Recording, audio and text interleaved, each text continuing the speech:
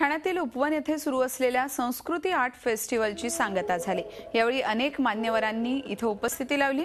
ठाण्यात बंद पडलेल्या कंपनीच्या उद्योजकांनी आपले उद्योग पुन्हा सुरू करावेत. त्याचबरोबर ठाण्यातील बेरोजगार तरुणांना यामुळे काम मिळू शकेल असं आवाहन आमदार प्रताप सरनाईक यांनी केलं. तर लवकरच ठाण्यात व्हिडिओकॉन कंपनीचा प्लांट सुरू होणार असल्याची माहिती संचालक अनिरुद्ध धूत यांनी दिली. यावेळी बेरोजगारांना रोजगार देण्याची त्यांनी ग्वाही दिली.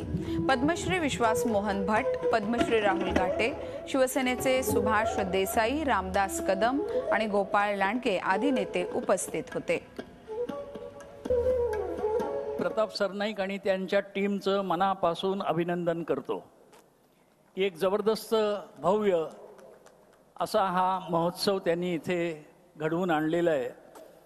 कला आणि कला रसिक यांची भेट घडवून दिलेली आहे. आणि त्यामुळं एक फार मोठं कार्य त्यांच्या हातून या ठिकाणी घडत आहे. त्याबद्दल मी त्यांना धन्यवाद देतो. झी चोवीस तास. रहा एक पाऊल पुढे.